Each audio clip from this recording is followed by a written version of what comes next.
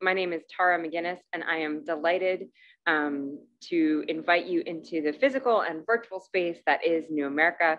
For folks who are unfamiliar um, with New America, we are a Washington, DC based think and action tank um, dedicated to revitalizing the promise of, of the ideals of America in the digital age. We could not be more excited about our guest today. Um, across New America, we have a number of teams that are focused on bringing um, all aspects of public life and public, uh, public policy into the digital age. We have teams that work uh, Digi on digital governance. We have teams that work on bringing technologists into government. We have a team um, that I lead called the New Practice Lab that focuses on how we use technology for family um, uh, economic security. But here today, um, there are a few people who I've learned as much from um, as the, the Minister of Digital Governance in Greece over the past year. And so I'm, we're gonna turn most of the session over to, to him to hear some um, presentation or remarks and then dive into questions about your work and what the implications are for the United States. Um, I can't say enough about how grateful we are to be here, but also the kind of the fellowship and learning. So I want to say a few um, moments about uh, Kyriakos Pierrakakis, the Minister of, um, of Digital Governance in Greece. First, um, in a very unique capacity, he is both a computer scientist and a political scientist, um, someone who has been leading on both the technology side as well as the vision. Um, and the work that's been taking place, you'll hear more about from him but has been an inspiration not only in the forward looking nature about how you can smooth the life experience of Greece citizens, but also in how you can build trust in government along the way. And I think um, having picked up the New York Times at some point in 2020, and, and read a headline uh, suggesting that in, the, in a surprising way, Greek citizens are very satisfied with their government's COVID response. I, um, I was inspired to speak to you and the team about the work. So I'm going to turn it over um, for a presentation uh, and, and let's hear more about your work directly. But thank you for being here. Thank you for the invitation. It's a great joy to be here. Uh, needless to say, and let me kick off by saying that uh, your book, the book that uh, Tara Dawson McGuinness and Hana Schank wrote uh, on public interest technologies, power to the public, has been an inspiration uh, for the Greek government, for myself personally, for my team, and it's actually mandatory reading for my team. So uh, thank you so much for this. And uh, it's a great joy to be here at the New America Foundation. Uh, the work that we have been trying to do is very much uh, in parallel with what you have been trying to describe in your book, how governments haven't been provisioning public services in the manner in which uh, would be ideal for citizens. And thus, what we have been attempting to do in the last three years in Greece is effectively to change the way citizens are served in the context of their life events. This means that uh, life events are structured basically from the government's perspective, from the state's perspective, rather than from the citizen's perspective. And technology can enable you to change this. This is your vision, uh, this is our vision, and this is what we have been trying to attempt. Uh, let me begin by quoting two numbers, the change in two numbers of our KPIs, our key performance indicators, to showcase what we have achieved in Greece in the last three years. Uh, the first one is the number of digital services provided. Uh, and there we started effectively having learned a lot from the UK experience, from the government digital service of the UK in 2011, the gov.uk experience. We created a similar portal, gov.gr, uh, it took us nine months to develop it. And uh, what we wanted to do was to aggregate the pre-existing services of the Greek state to begin with. How many services do we have? Do they work well? Where are they? Should, they should be on a single point of reference. This took us nine months. We found out that we had 501 pre-existing services. We added two more on day one, so 503. The rule according to which we added services, we said would be the Pareto rule, meaning that 20% of the services generate as a rule of thumb, 80% of the traffic. So effectively, we wanted the most frequently used services being the ones that we would start from. So 503 in March 2020, as of yesterday, 1,398 services. Uh, this means that if you look at the curve, it's effectively one service per day provided, including weekends. Uh, and that manifests the scale of the work conducted by our engineers, by our service designers, by our UX designers, by the people who are engaged in this project. Now, the second number I think is even more interesting. It's even more important. And it's digital transactions. Now, we can have a sense of how many times a Greek citizen interacted digitally with the Greek state, the tax service is excluded from this uh, analysis because this was digital even before us. We have uh, Greek citizens have to file their taxes digitally uh, for more than 10 years back. Uh, so let's say that slowly. Greek mm-hmm. citizens have to file their taxes digitally. Carry on. yes, uh, that's uh, that's a policy that started around 15 years ago, and it's a policy that remains to this day, and it's a success because which is interesting here is that every Greek citizen has a digital ID for the tax system, which we then use, which we then instrumentalize for a series of other digital services. Now, we can have a sense of digital transactions effectively by adding two numbers up. The first number is how many times you logged in the systems. How many times you logged in the systems, either using the tax credentials that I mentioned, which we instrumentalize further, or the authentication of the banks, of the Greek banks which you have, which, for which we have allowed use for access in our digital public services. We accept them as equivalent. The European directive enables us to do so. So bundling those numbers is the direct logins. But there's also a second number vis-a-vis how many times one is served, interoperability. Now, Estonia has X-Road. We don't have X-Road, but we have a version of it. We have an interoperability center. So the calls in the interoperability center are equal to physical visit not made because the Greek state already has access to your data. You give us the green light, we obtain access to your data through the interoperability center. And effectively, this is the once only principle uh, that Estonia has originally conceived of. So by adding those two numbers up, you have a sense of digital transactions. So how, how did those transactions evolve in the last years? In 2018, there were 8.8 million digital transactions. In 2019, there were 34 million. In 2020, there were 94 million digital transactions. And in 2021, there were 567 million digital transactions. And if you do, if you look at the numbers, the curve is purely exponential. Now, COVID played a role, of course, in the usage of such, of such services because it was the demand catalyst. Governments had to ensure government continuity in the same manner in which uh, businesses had to ensure business continuity. But my claim here would be that it's the previous number, the availability of digital services in the core life events, which was the driver for the exponential evolution of this number. Effectively, it was a supply, I would say, change primarily, and then a demand change. So overall, those two numbers, if you look at any poll in Greece right now, in the policy areas uh, and the satisfaction of uh, each policy area, there's a consensus in Greece that digital transformation of the state was an unexpected reform it was the vision of our Prime Minister, Kyriakos Mitsotakis, and it's a reform which we're delivering to citizens and where results are, are being made basically every day because one new service emerges every day. Now, the question is, how did we do this, apart from how we plan to continue building in an agile manner uh, the new services that we want to add every day? The first lesson is preparation. We started more than a year prior to the, our national election. Our last national election took place in 2019. So imagine us starting mid 2018. The then leader of the opposition, now Prime Minister Kyriakos Mitsotakis, had personal experience on the, on the topic because he used to serve previously in a previous capacity as a Minister of Administrative Reform. So e-government was part, as it was called then, it was part of his portfolio. But as he said to us, he felt that he had the remit, but he didn't have the tools uh, that he wanted. So effectively, when uh, the prime minister created his cabinet, in a very symbolic move, he decided to abolish the ministry that he previously ran to create a new digital ministry, where effectively, while we were naming it and designing it, we knew that digital was not exactly the proper title, because digital is the means, as you say in the book, it's not the goal. The goal is service design, the goal is public interest technology, the goal is to change the experience of citizens when they interact with the state. It's not about the technology, it's, it's, it's about the experience and about how to change things. So effectively, if we conceive of the state as three things, structures, processes, and human resources, we decided to get processes out of the traditional Ministry of Public Service or Interior, as we say, and create a ministry around process simplification, digitization, and telecom, of course, being part of that mix. So the Digital Governance Ministry was created. It took us a long time to learn the lessons from other places and the lessons from our previous experience. In that sense, we looked both at the horizon and at the landscape.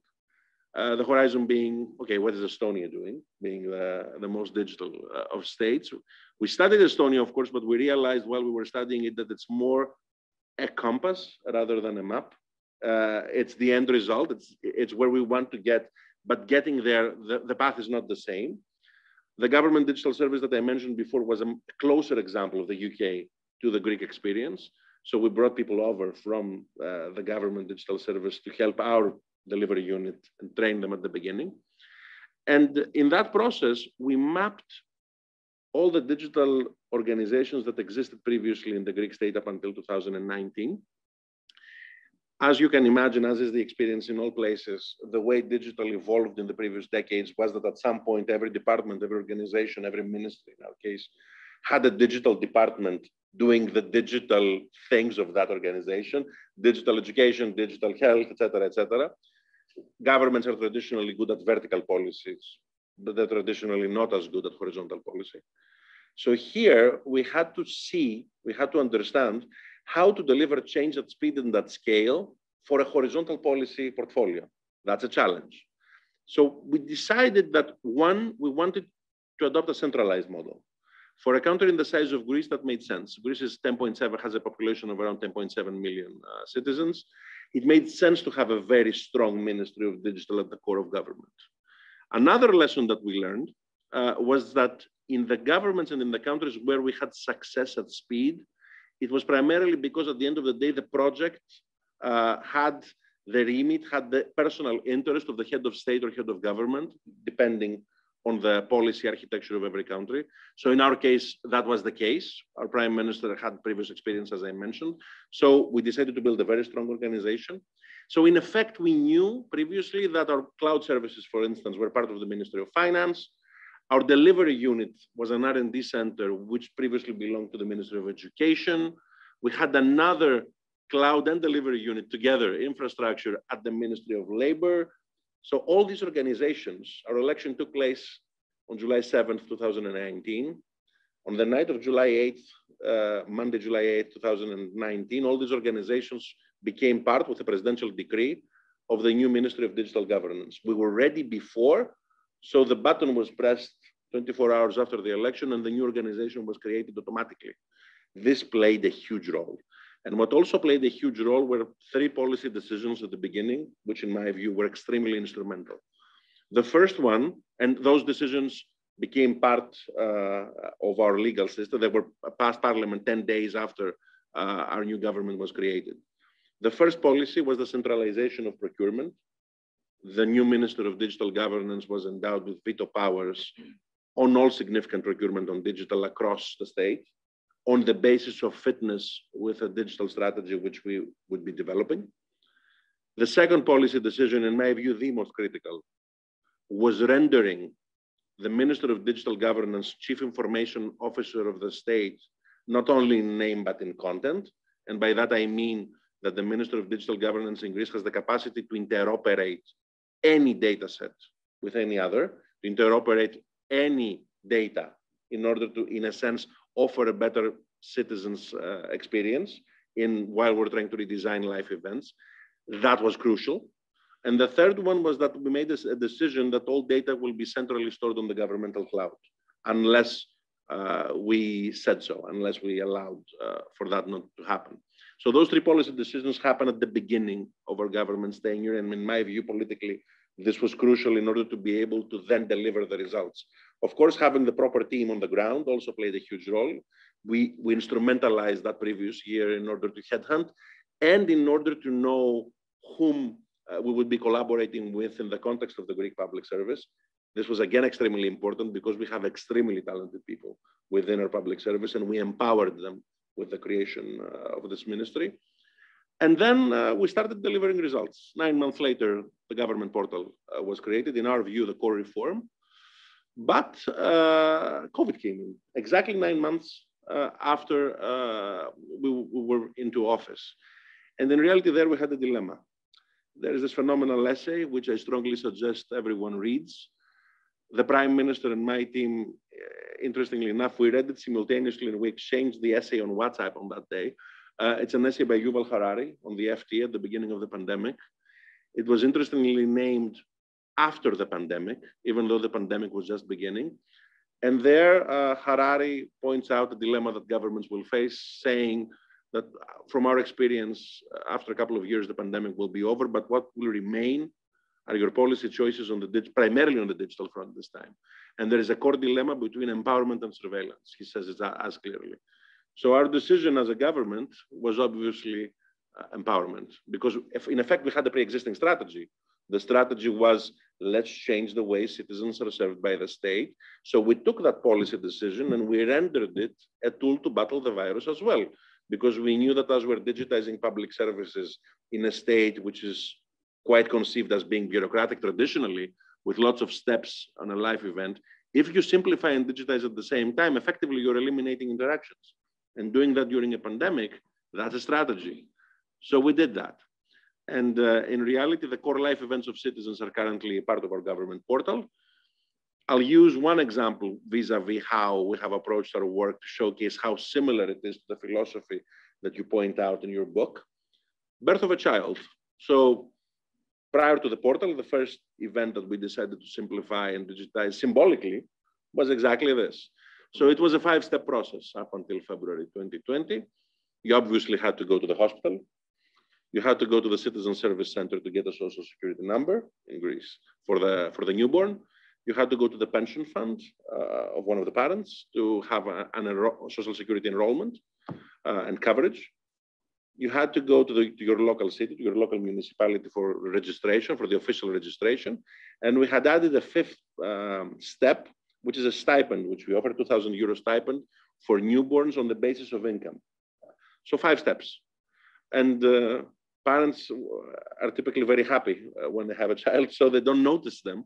They notice them in, in other more problematic events of their life. But still, we figured that this was a great opportunity to prove the concept. So we, we tried to prove the concept, and we did the following. Now, when a child is born in Greece, parents receive two messages. The first message being, congratulations, and the social security number for your child is this. And the second message, or, or it can be an email. Uh, and the second message is whether or not they will be receiving the stipend, telling them that it's automatically credited to their account. And in a sense, it's the first smart social policy uh, design that we have implemented. Uh, this worked miracles. This is what we have been trying to do on all other fronts.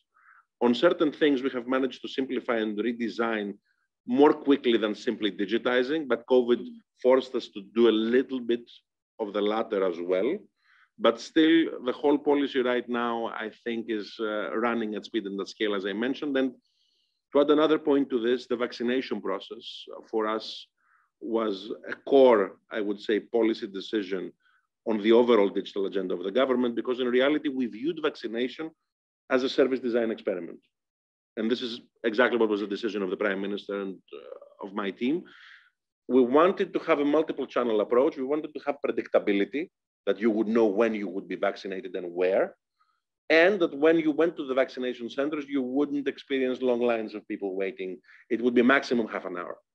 And given the fact that this was the most difficult logistics exercise post World War II, that was a challenge. We had to develop the system in seven weeks.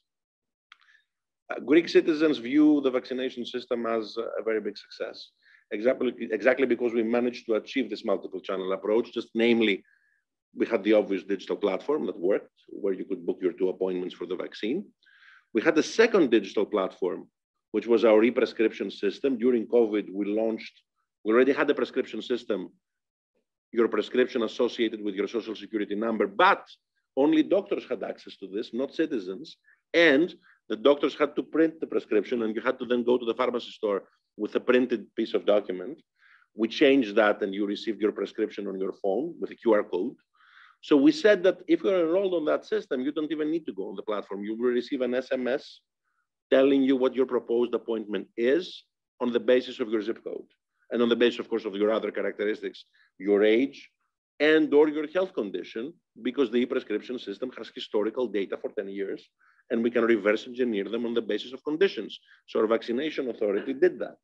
So the two digital channels played a huge role but we didn't only have digital channels because service design is not only about digital. Digital is the means. We also had physical channels for those who are not digitally skilled. And there we either used the citizen service centers, we have a thousand in Greece where you could physically go and book your appointment. Or, and that was, I think, one of the best decisions that we made, instead of using call centers, which wouldn't work, and we saw them not working in many places around the world. We instrumentalized the pharmacy stores in Greece, which are 11,000. They have an SME structure, unlike the United States. And all pharmacy store owners are credentialed in the prescription system. So we said that if you don't want to book your appointment for the vaccine online yourself, you can go to your pharmacy store uh, in your village or in your city and have the appointment booked for you. So overall, it was a very coherent system, fully digital. And it's very interesting that, as again uh, is pointed out in the book, sometimes the simpler technologies play a more significant, have a more significant impact. And uh, when we discuss with citizens what has played the biggest role in their impression about change overall in the Greek state, they quote, uh, amongst other things, the, the SMS that they received when they received their first jab of the vaccine, exactly because the system was fully digital, they automatically received an SMS notifying them about their second appointment. So many told us that this was exactly where I felt that my state is working really well and it's changing uh, in the process. Now, overall, this whole process, again, uh, those, those projects are a function uh, of the work of a very large team of a service delivery unit of, of, contractors who have changed the way they operate within the context uh, of our strategic priorities. Our digital strategy is public. It's called the Digital Transformation Bible. The document is interesting. It's in Greek, but uh, the document is interesting exactly because it's not solely strategic. It's an implementation plan which codifies 448 specific projects that are going to be implemented by 2025. They're not the only projects because, of course, uh, we have crises, we have new priorities, but we will certainly fund these projects. And because it's not only about the screens of code, but it's also about the books of law, uh, we had our digital law, which passed the Greek parliament in September 2020. And uh, I would say that in a quite rare for our standards uh, manifestation of bipartisanship, the equivalent of 275 MPs out of 300, for political parties, uh, my party and three extra parties voted for that law. And in effect, it's the digital constitution of Greece. It includes all facets of digital, transposing European directives on telecommunications and open data, our governance on identity, digital identity, digital signatures, and the full scope of policies like the policy, the innovative policy that we have had on the deployment of 5G networks in Greece. Everything is within that law. And for us, it's extremely important, amongst other things, to answer the challenge of continuity, which is, as we're reading the experience of other states, amongst other places, the UK, we see that continuity of that policy is a huge challenge that needs to be answered.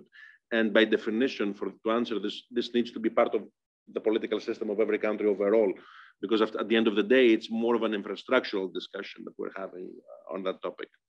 On a final note, uh, the whole strategy that I tried to describe is agile in nature. So our plans for the future is to continue delivering services which we haven't yet managed to do so because some of them require larger procurements uh, rather than quick wins uh, and smaller services. But we're getting there. And at the end of the day, our goal is in 2026 to be digital by default. Again, thank you so much uh, for your invitation here, and I'm obviously much looking forward to the discussion. Um, thank you so much. And I think you covered a lot of territory there in a short time. Maybe I'll start where you ended. I think the, the, the speed and impact of your work um, is unique because it lies at the nexus of not only service design, design but they're also of lawmaking. I think you, you mentioned the 2020 law, um, and, and as uh, digital governance, the growth of service design, new teams and shops at the local and federal level across the globe advance, I think often this is thought of as a, um, as a separate entity from where we make policy at the, at the legislative body or in an administrative capacity. So I'd love to ask you to open that up a bit and talk about how much was, how, you know, the legislative powers you have which I can just, uh, we're in a virtual environment, I could just hear, uh, you know, 30 engineers and designers and policymakers say, you have total governance over contracting. you you know, you can you can interoperate data. Um, these are kind of long in the United States. So many of them are interagency agreements to get a fraction of what the core powers are. But I'd love you to kind of tease out how much was the governance structure and the not bipartisan, quad part, you know, uh, you know, shared um, goal from the legislative body, mission critical to the work you've done? I'll answer this in a tweet. My legal team is equally big to my delivery team. Uh, and I think that speaks volumes about what we have been trying to achieve. The former president of Estonia, Toomas Hendrik Ilves, was extremely kind to act as an advisor at the, at the beginning of our tenure and to me personally, and I always uh, try to find the opportunity to thank him for that. Uh, and one of the quotes, if he doesn't mind me quoting him, that he, one of the phrases that I remember from uh, his advisory capacity at the beginning was that when we were designing this plan and uh, he was our, uh, our, let's say, closest person where we presented and said, does this work or not? He said that more or less, your first year is going to be your year of legislation and the next years are your years of coding as a rule of thumb. You will need to legislate again and again and again in the process, but you need to get the legislation right. You need to get the responsibilities right. If you don't get them right, you won't manage to achieve the results that you want. Because in reality here, as you mentioned, uh, we're a very strong digital ministry. My colleague, uh, my Italian colleague, Vittorio Colao, who is the digital minister of Italy and the former CEO of Vodafone, we were at a conference in Italy 15 days ago, and he said that the Greek digital ministry is effectively the strongest digital ministry in Europe. He's right. Uh, we designed it, our prime minister and ourselves designed it as such on purpose because we wanted to get the results very quickly. Now, policies are like transplants. You need to have donor receiver compatibility. You don't have a one size fits all approach. Uh, this wouldn't work in a federal system. Uh, but what we're trying to do and what we tried to do when we studied on that previous year, Estonia, the UK, the US, Argentina, New Zealand, Australia, what we tried to do was to be inspired by those, uh, I would say, policy designs, and then try to get the lessons out of them and with a, an acute understanding of each domestic political system to have the optimum policy design for digital. Here, in a sense, you need I think that was uh, that's, that's a quote from a camp from a political campaign here. But uh, anyway, it's you need the knowledge of an insider and the mindset of an outsider in order to be able to deliver results in that manner. Um, Hana. Thank you. I um, thank you so much for that um, presentation, which I have like a thousand questions for you, um, and I'm going to pick one to start. Um, as you were talking, I couldn't help but think about the fact that um, I would imagine that democracy, governance, and government it's are, are somewhat in the lifeblood um, for Greeks, and so that um, maybe citizens are coming from a slightly different perspective than um, in this country where we're all about privacy. Um, and um, and also maybe not as committed um, to certain forms of government. I'm curious to what extent do you think that um, the fact that, that that sort of that culture um, factors into all of the great work that you've been able to do? Like is the appetite would you say for greek citizens um, is, is there maybe more of an appetite for experimentation or just uh, like more of a core faith in government um, that we might not have in this country? In reality uh, i think that you know, our, our strategy was delivery of services. And by that, I mean uh, that overall we were trying to solve for a very large problem. So if you looked at any poll in 2019 and asked Greek citizens, what are the, like your top three or four problems? Excess bureaucracy was always topping that list, top three. So in reality, we're trying to solve for a chronic condition uh, that the Greek state has faced uh, since its conception. So this, by definition, uh, replying to this uh, to this challenge is by definition something that Greek citizens are endorsing.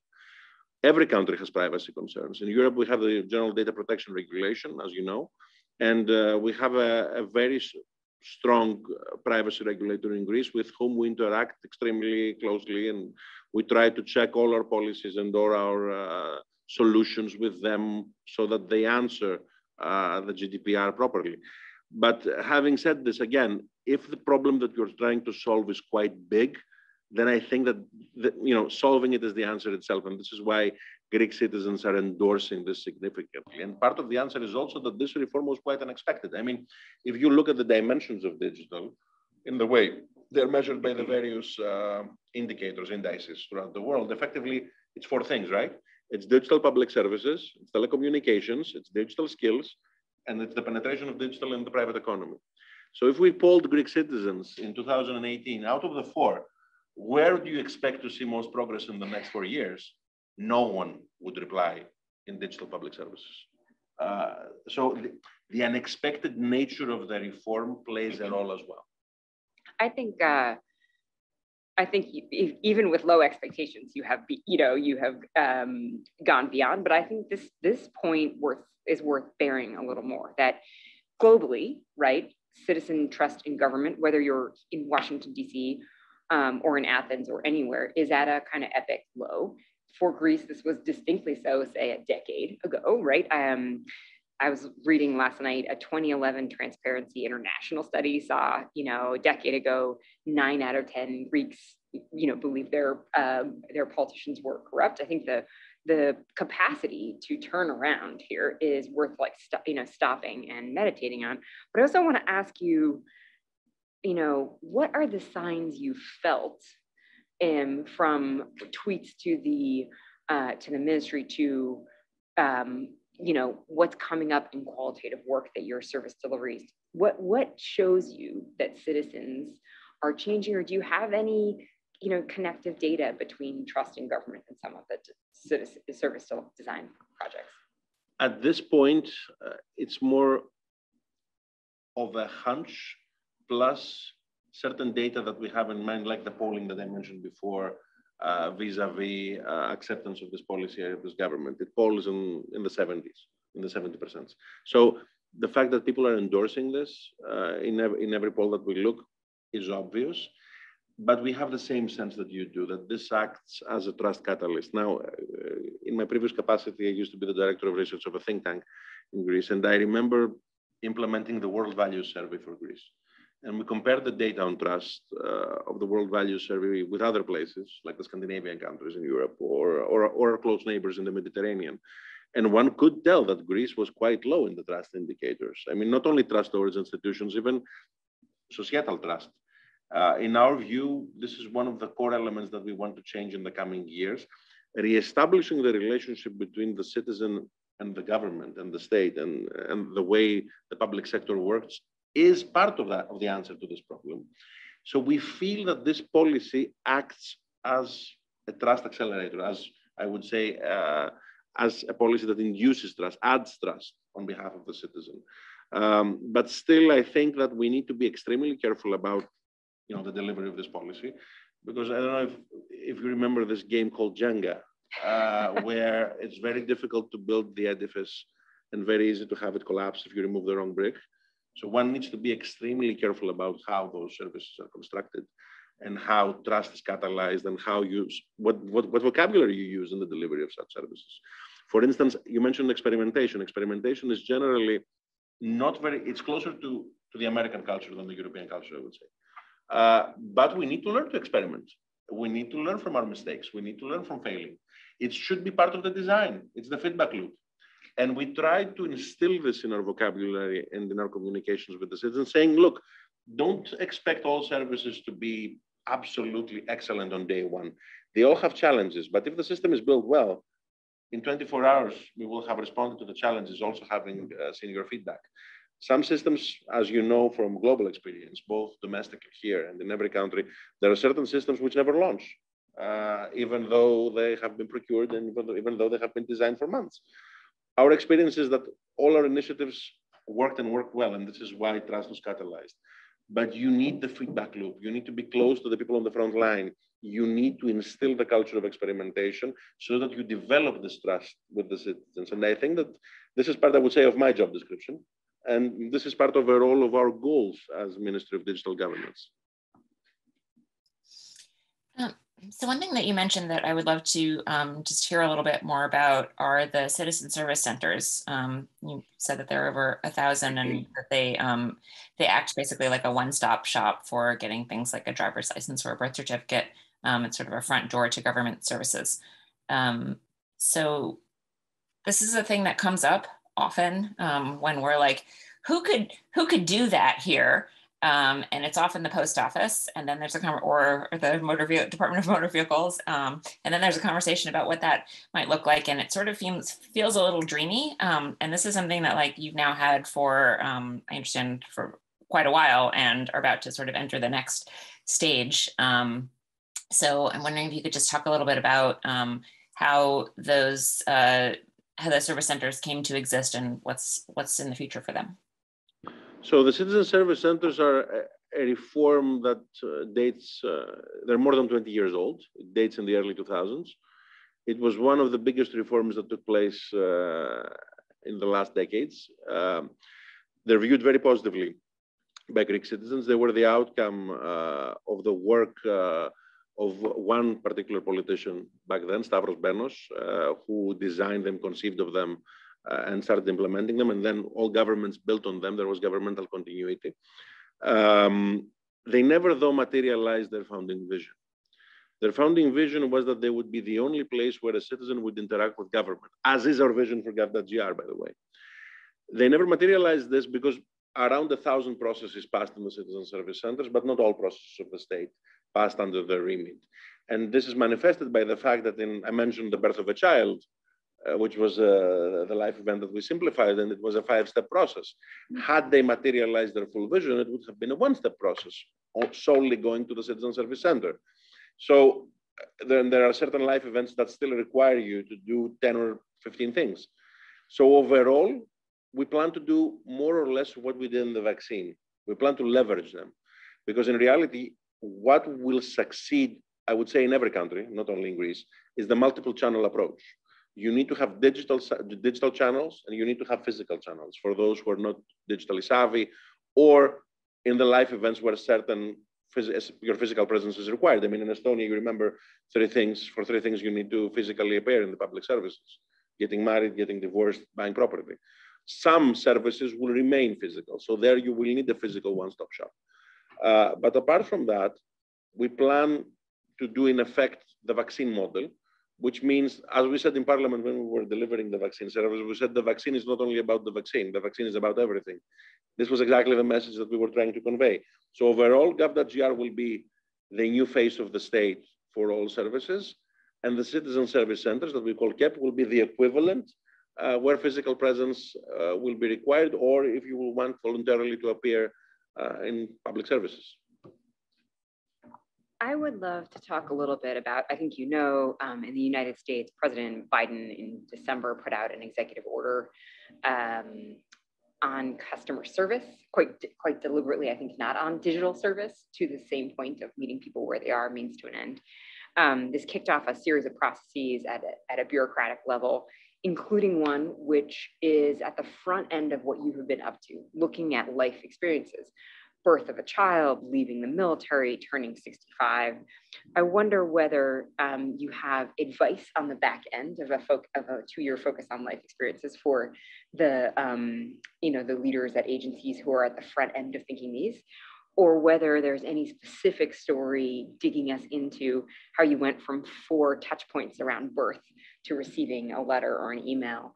Um, you know, either kind of stories from the field of birth life experience in the Greek, and also advice to your, some of your peers and counterparts here in DC who are working on a similar effort.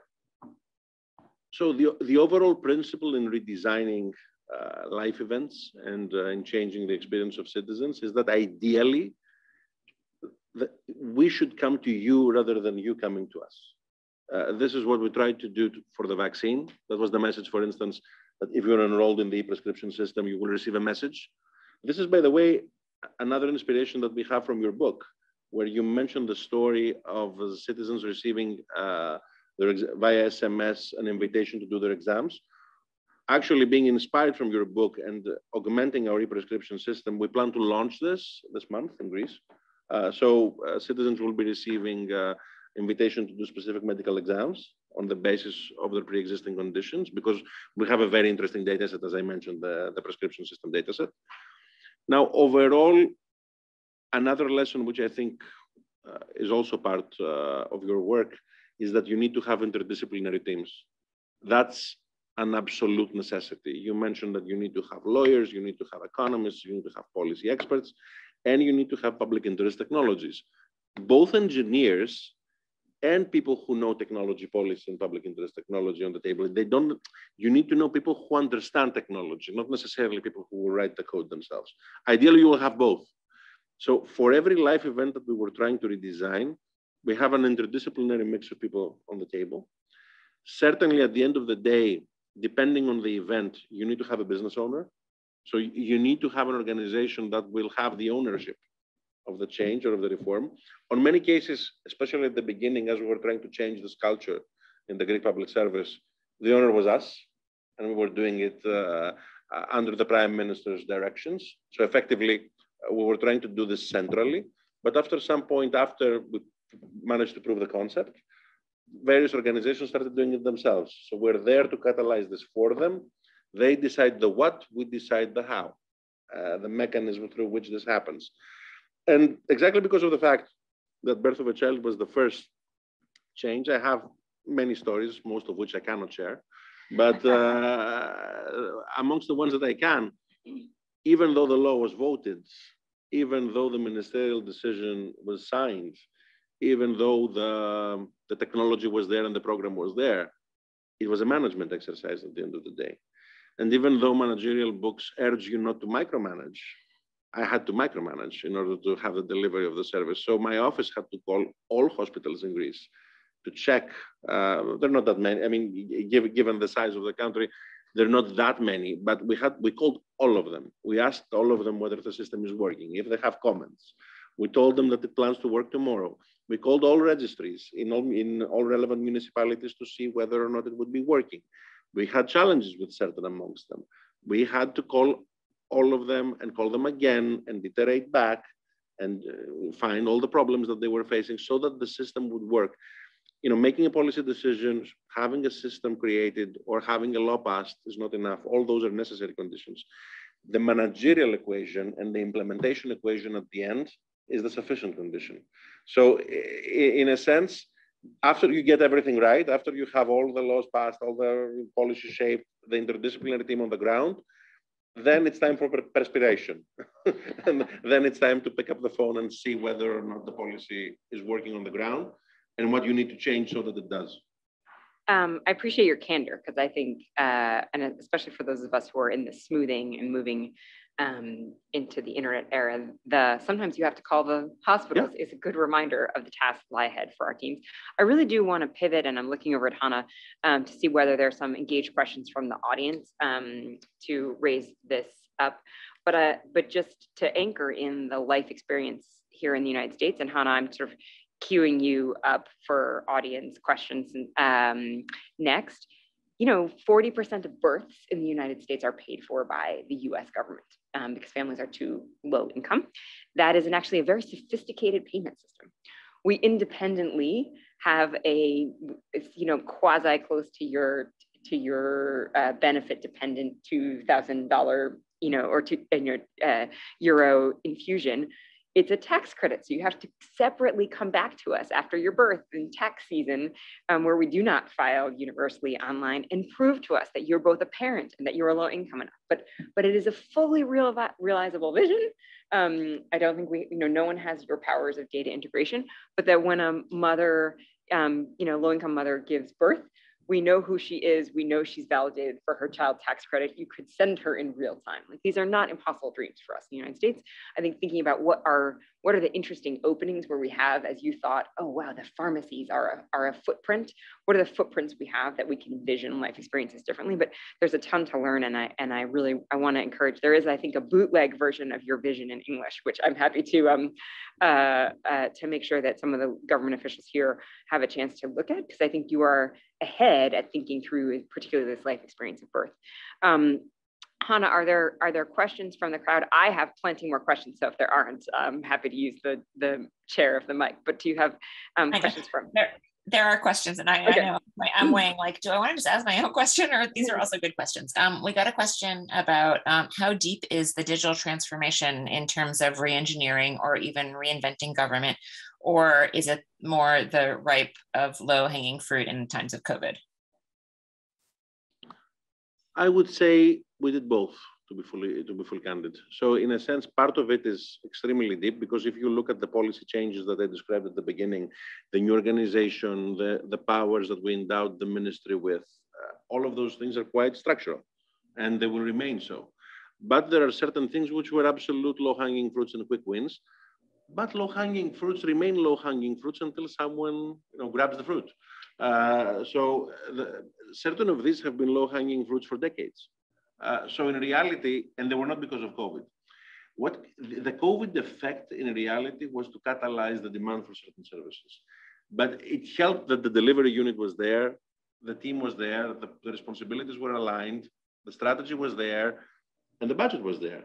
Because what I should mention in this debate is that as we were structuring our digital strategy, the digital transformation Bible, we had a debate with all departments of the Greek government. And originally we conducted gap analysis and we tried to see what systems are missing. So we had an e-prescription system, but most of Greek hospitals didn't have the systems that we would want them to have. So having seen the full gap analysis in 2019, we didn't, we purely didn't have the budget to do 100%, to cover 100% of the distance. And then COVID came and COVID helped, especially there because there is a plan in the European Union called the RRF. Uh, and this plan effectively, budget-wise, it's a Marshall Plan for our times, for the European Union countries. 20% of the plan in every member state of the European Union is budgeted towards digital. In Greece, it's 23%. What this plan did for us is that it enabled us to finance 100% of the outstanding elements of the past and even go into the list of things that we want for the future. So right now we have a very, I would say, coherent strategy vis-a-vis what we're trying to achieve. Most of the low-hanging fruits have been delivered. So now we're in the in the process of doing significant redesigns of services, which of course citizens are truly endorsing. Um, Tara, you want to? I also I would just open it up. Please, please uh, submit your questions. Um, I want to ask a question about leadership, um, unless they're that um, you have other ones ready at the ready. Um, in particular, I was really struck by the history of having a prime minister who saw the um, shortfalls and opportunities of the bureaucracy. In the book, we talk a lot about the importance of political leadership from the top, understanding the front lines. I, I just like to kind of tease out the ingredients of, um, you know, is can you do this at a technocratic level alone? No. Tell us a little. Uh, the, the, answer, the answer, I think, uh, the question is, uh, the answer to your question is obvious. You need both political skills and technical skills in this equation. Uh, and you need the vision, you need vision at the top, you need political leverage at the top, so it was very important that uh, Kyriakos Mitsotakis, our prime minister, had experience on that field and understood what was missing so that he wanted to create such a team that would deliver such a project. Uh, it wouldn't have happened otherwise. Um, but having said this, when you go into the delivery unit and you go into how this policy is implemented, yes, when we passed the three policies that I mentioned, uh, the policy on data, the policy on the government platform and on the new services, on interoperability, on procurement, all of those things. One can think that we have all the cards in our hands. Yes, but this is not where the story ends. It's where the story starts. Uh, you cannot impose digital policy on other departments. It's very useful that we have the cards, but it makes the debate more productive and it makes, in effect, the outcome closer to fruition but you cannot do it without other departments. You cannot do this without political deliberations. You cannot do this without an extensive iteration process. But at some point, the iteration process ends. At some point, someone makes a decision. And at some point, the policy is delivered. And this is why we decided to have this model to begin with. I want to um, open up for any more closing questions. Hana, I can see you jumping in. Uh, yeah, we have a related question actually um, to what we were just talking about, um, which is how hopeful are you that the current momentum will endure in an uncertain future, i.e., political changes, new policy directions, financial strains? Great question. Politicians are not good at making predictions, as you know. Uh, we should be good at making what we feel should happen happen. So we should be good at delivery of results. So in my view, I, I view this question as a challenge. This is what I'll say. So in reality, we should try to guarantee continuity to the maximum extent. This is why we tried to get bipartisan support, even though we didn't need it. We have an absolute majority in parliament, but we wanted it not only for symbolic purposes. We wanted everybody's commitment towards this significant radical change uh, happening uh, at the core of our government, at the core of our state. So in reality, this is the core challenge moving forward. Um, I want to give you a, a, moment to reflect on, you know, uh, in an unstructured way, if there if there's a, a, single piece of advice you would give to your peers in Europe, to your peers across the globe, um, to us here in the United States as we embark on the smoothing of life experiences. Um, but before, so that may be my final my final question to you um, is your reflection, is, advice uh, to to others um, who may be at a much earlier stage in the chain don't even think for a single moment that you cannot do it. It's absolutely feasible to deliver the, the, this project, but the path for delivering it is singular.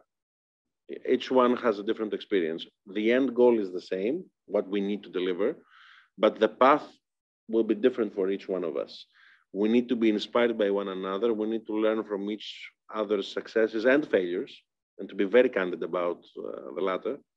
Uh, and but at the end of the day, you know, if you do your homework, if you prepare in advance, if you have a good team which is interdisciplinary, if you have leadership at the top, as you mentioned, then you have all the core ingredients there.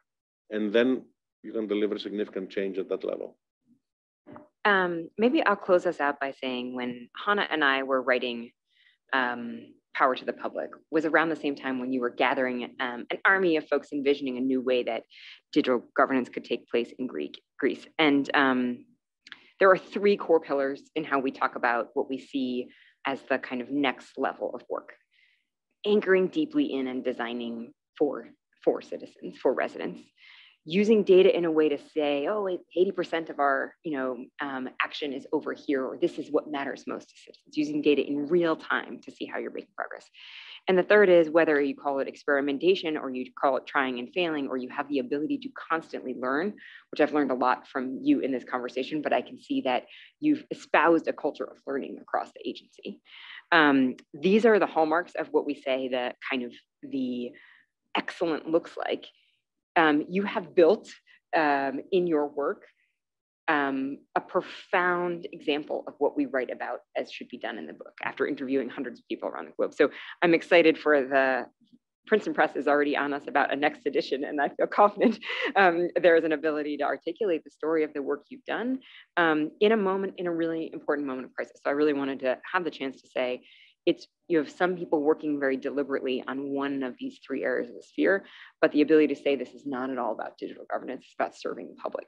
Um, that this is a Jenga house and you could explain it, um, you could do really excellent on your COVID rollout, but destroy something for the next generation of thing you haven't thought of.